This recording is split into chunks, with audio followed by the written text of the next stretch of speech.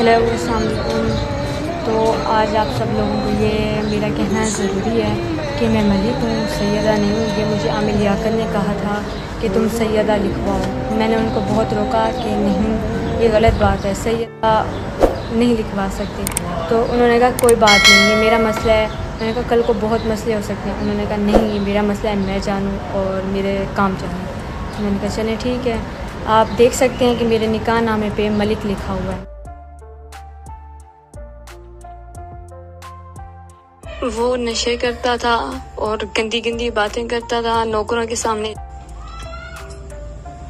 ये देखा है, ये हाल कर दिया उसने। अगर हम नशा करें तो हम ठीक हैं, अगर नहीं करें तो फिर मौत के मुँह में जाए। हमें मार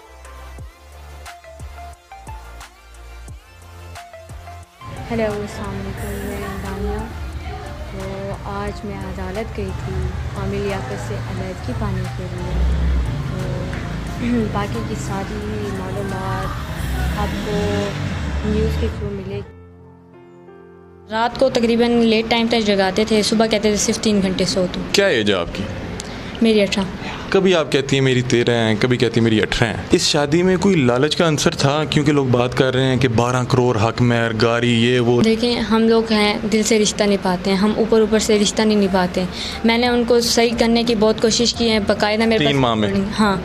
हम तो देख रहे थे सोशल मीडिया पर आप एक बड़ी लग्जरी लाइफ इंजॉय कर रही थी। इमरान खान साहब से मिल रही हैं नादिर अली की पॉडकास्ट में बैठी हुई हैं और मुख्तलिफ़ शोज़ में हँसते खेलते चौथी शादी कर लो पाँचवीं शादी कर लो। इनका कहना यह है कि आमिर लियाकत साहब को अल्लाह पाक हिदायत दे। ये हमारी भी दुआ है।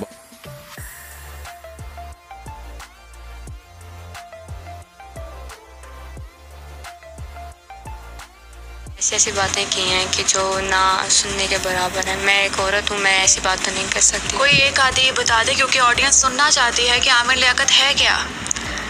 देखें आमिर लियाकत ने मुझे कहा था कि हम बाहर मुल्क जाके मैं तुम्हारी और अपनी वीडियोस बनवाऊँगा जो हमें करोड़ों रुपए मिलेंगे। आपकी और आमिर लियाकत की वीडियो बनने पर करोड़ों कैसे मिल सकते हैं? बिना ड्रेस के। बिना ड्रेस के? हाँ जैसे अंग्रेज़ वगैरह बनाते हैं।